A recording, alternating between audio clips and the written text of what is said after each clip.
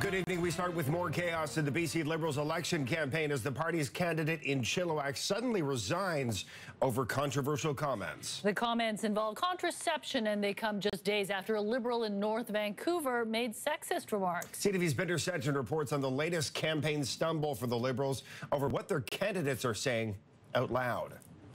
Thanks, Brian. During an all candidates meeting, this video released by the NDP shows the Liberal candidate Laurie Throness commenting on free birth control. It contains a whiff of the old eugenics thing where, uh, you know, poor people shouldn't have babies.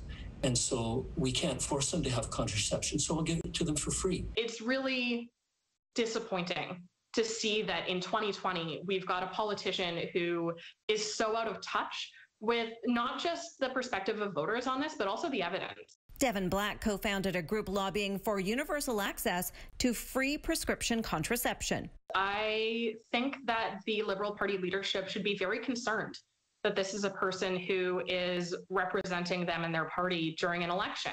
Not anymore. Those statements about contraception were completely wrong. I have therefore accepted Laurie Throness' resignation.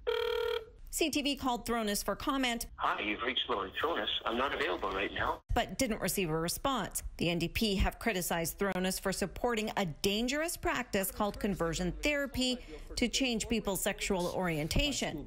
He's also appeared at anti abortion rallies. Mr. Throness reached a point where his views are no longer compatible with mine or the party, and so he has voluntarily resigned.